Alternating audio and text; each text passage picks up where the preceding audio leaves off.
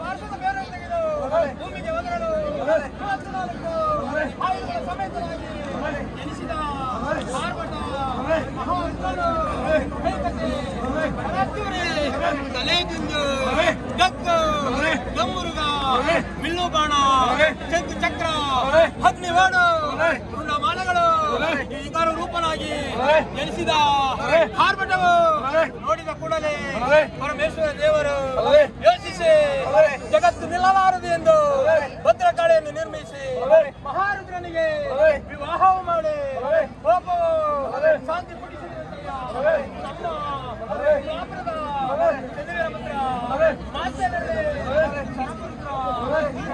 ಮಾತನಾಡುವ ಸಿಂಹಾಸನ. ಸಿಂಗಪ್ಪ ಕಾಸೂಟಿ